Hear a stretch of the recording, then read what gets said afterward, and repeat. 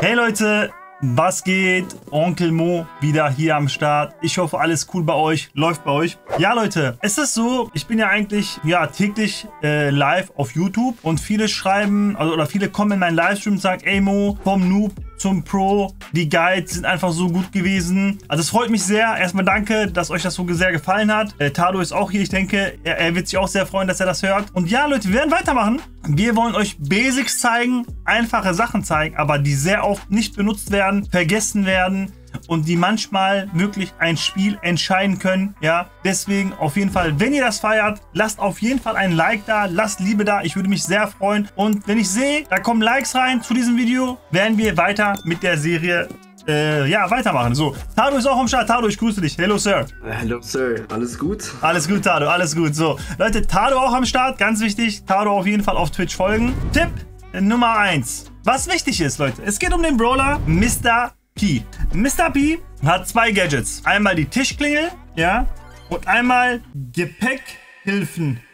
Hilfe. Das zweite Gadget kann manchmal gut sein. Ich finde es persönlich nicht gut. Das erste Gadget ist besser. Zum ersten Gadget gibt es einen Tipp. Ja, es ist kein Bug, es ist bewusst so. Das werde ich euch jetzt zeigen. Wenn ihr Mr. P spielt, ganz wichtig, die erste Star Power und das erste Gadget. Gears würde ich euch bei Mr. P empfehlen. Wenn ihr Power 10 seid, auf jeden Fall als erstes Damage, dann Map-abhängig. Wenn ihr Wiesen braucht oder Wiesen habt auf Bounty, Speed. Wenn ihr keine Wiesen habt, Trefferpunkte. Wir starten. Ich möchte euch gerne bei Mr. P was zeigen, was wirklich wichtig sein kann. Let's go. So, wir brauchen unsere Ulti dafür. Wir holen uns unsere Ulti einmal. Okay, wir haben unsere Ulti. So, es geht um folgende Sache. So, unser Pinguin spawnt. Schießt ihr mal an den Pinguin? So, Leute.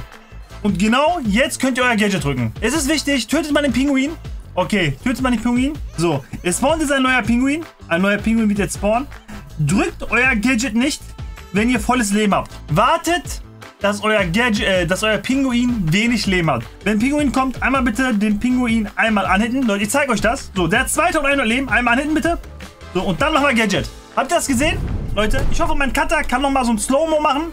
Ich hatte 240 Leben. Ich habe Gadget gedrückt. Also ich hatte 3400 Leben. Das ist sehr viel. Das heißt, mein Turret hatte eigentlich 5k Leben. Ja, also ganz wichtig, das Gadget aktivieren, wenn, ihr, wenn der Pinguin low ist. Ihr müsst schnell sein, ihr müsst ein Auge dafür haben, ihr müsst eine Übersicht dafür haben. Wichtiger Tipp, benutzen viele nicht. Bitte denkt daran, benutzt es, wenn ihr Mr. P spielt. Kommen wir zum nächsten Tipp. Okay Leute, kommen wir zum zweiten Tipp, der manchmal äh, bei bestimmten Maps sehr spielentscheidend sein kann. Es geht um den neuen Brawler Chester. Das ist sehr interessant. Das ist wirklich sehr interessant. Ihr wisst es, äh, Chester hat fünf Ultis. Ja, fünf Ultis. Er hat einmal das Knallbonbon, äh, Wunderball, äh, Salmiak, Knisterbrause und scharfe Minze. Es ist so, wenn ihr euch kurz jetzt fragt, was ist die beste Ulti? Die beste Ulti, ich habe mit vielen darüber geredet, ja. Viele sagen Wunderball oder Knallbomb, äh, genau, Knallbonbon. Eins von den beiden. Ist abhängig. Ist Map-abhängig, ist Comp-abhängig, ja. Ich bin ein Fan von Wunderball. Ihr könnt einmal zwei Sekunden Stun, ja. Plus ihr macht 2100 Damage, das ist der Wahnsinn. Aber Knallbonbon ist auch sehr interessant. Dazu kommen wir jetzt, ja, zu diesem Brawler. Welche Gears sollte man bei Chester benutzen? Auf jeden Fall Damage. Damage definitiv. Power 10, nur Damage benutzen. Wenn ihr natürlich Maps habt mit Wiese, natürlich auf Speed gehen, aber sonst bitte Damage. Wenn ihr Power 11 seid, nehmt ihr Damage und Speed, wenn da Wiesen oder Damage und Shield oder Trefferpunkte. Eins von beiden, das überlasse ich euch. Ich möchte euch was zeigen bei Chester, es ist wichtig. So, können wir mal gewiefte Wiesen machen. Oder eine Map so mit Wänden. So, ich hole mir die Ulti. So, ich hole mir mal die Ulti. So, ich habe mir die Ulti geholt. Ich hätte jetzt aktuell den Heal. Ihr seht es, mein Kata kann euch so aufmerksam machen mit so einem Pfeil. So, ich werde jetzt sterben. Töte mich mal bitte, Tado, oder einer von beiden. Okay, ich bin tot. Jetzt spawn ich mit einer anderen Ulti. Und das ist jedes Mal dieselbe. Es ist jedes Mal das Knallbonbon. Jedes Mal. Nochmal, wir machen es nochmal. Ja, ich hätte jetzt das Gift. Tötet mich mal. Sehr schön. Ich sterbe jetzt wieder. Also ich, ich spawne neu. So, ich spawne neu. Und ihr seht es. Wir haben wieder das Knall Knallbonbon. Wir machen wieder. Ich habe jetzt mal getauscht. Ja, jetzt hätte ich den Slow, aber wir benutzen es nicht. Wir werden wieder sterben. Okay. So, ihr spawnt jetzt wieder mit dem Knallbonbon. So, ihr seht es. So, mir ist wichtig, dass wenn ihr den Brawler spielt und ihr spielt eine Map, die sehr close ist, also close heißt sehr nah ist, zum Beispiel Superstrand. Und da sind irgendwie Werfer, ja, oder Tanks, die verstecken sich hinter, hinter den Wänden. Dann macht folgendes, holt eure Ulti, wirklich spielt aggressiv, wir werden aggressiv spielen, uns unsere Ulti holen, ja, und dabei auch sterben, bewusst. Aber wir wollen unsere Ulti haben. Wir wollen unsere Ulti haben. So, jetzt werden wir werden sterben, weil wir hier gerusht sind. Wir werden sterben. So, okay. Wir hätten das Stun, äh, die Stun-Ulti. Die ist sehr gut, aber die wollen wir nicht. Wir wollen äh, die Ulti haben, die die Map aufmacht. Und dann können wir uns das bisschen einfach machen. So, dann machen wir hier auf. So, und dann ist es schon mal für uns ein bisschen einfacher. Natürlich sollt ihr nicht reingehen und sterben. Aber ihr könnt, wenn ihr seht, ihr habt gute Mates, ihr vertraut euren Mates, könnt ihr das riskieren. So, und dann könnt ihr die Map natürlich aufmachen. So, so die Map ist eigentlich schon relativ gut offen. Ja, und dann könnt ihr so Kombos spielen, wie eine B, Griff, ja. Könnt dann so echt so Brawler spielen, B, Griff, Chester, mega OP. Eine sehr gute Comp, ja. Ihr könnt auch eine Comp spielen, ihr könnt wirklich Long Range spielen. Ihr könnt sagen, Mo, wir wollen Long Range spielen, wir werden B spielen, Colt spielen, Chester spielen, könnt ihr alle spielen, dass ihr das einfach nur wisst, dass sowas mit diesem Brawler möglich ist. Jedes Mal, wenn ihr stirbt mit Super, kriegt ihr immer dieselbe Ulti und das ist das Knallbonbon. Das war mir persönlich wichtig, dass ihr das wisst. Kommen wir zum nächsten Tipp.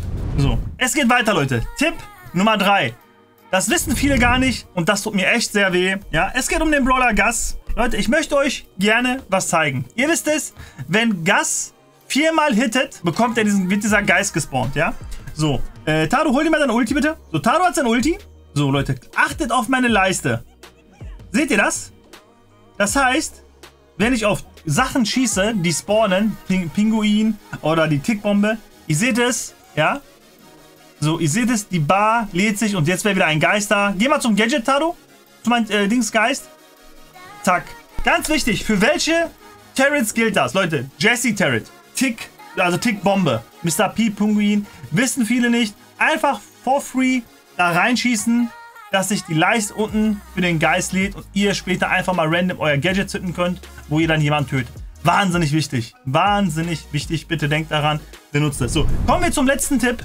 Es geht um den neuen Brawler Grey. Äh, den Tipp haben wir von Tado. Ich habe den Brawler noch nicht so, so, viel gespielt. Es ist ein sehr guter Brawler. Äh, Tado, wie findest du Grey? Ja, ich muss sagen, er wird momentan so ein bisschen von Chester noch, ich sag mal, outshined.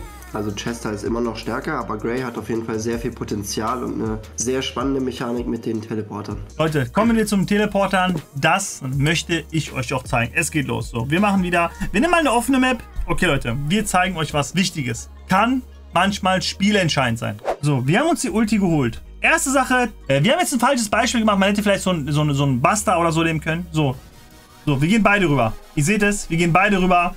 Das ist wichtig. Wir sind beide rübergegangen. Dann gibt es eine Sache, die man wissen muss. So, er hat, genau, ihr habt es gesehen, der Red hat den Teleporter jetzt aktiviert. Ich kann jetzt rübergehen, ja. Der Teleporter muss immer einmal getriggert werden. So, er ist jetzt getriggert. Ihr seht es, er hat geleuchtet, er leuchtet.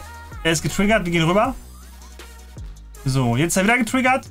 Er muss einmal getriggert werden, so wie jetzt. So, was ich damit sagen will ist, ich möchte das jetzt gerne mal zeigen. Wenn ihr äh, wisst, dass eure Mates spawnen.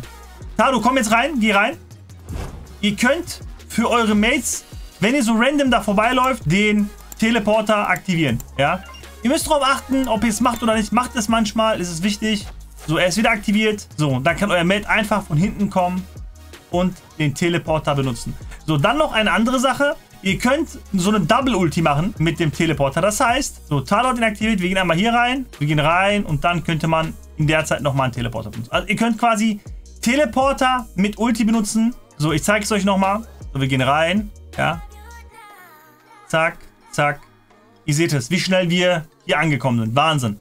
Der Brawler ist mega nice. Und das Krasse bei diesem Brawler ist, Leute, wenn der Gegner low ist, zum Beispiel, mach mal die Ulti. So, so. Ihr seht es, ja. Wahnsinn.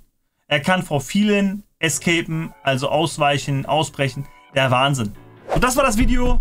Ich hoffe, ihr hattet Spaß. Leute, ganz wichtig, Tado hat sich sehr viel Mühe gegeben. Wir sind das mit Tado durchgegangen. Wir haben überlegt, was wir machen können. Ja. Wenn euch das gefallen hat, das Video, lasst gerne ein Like da.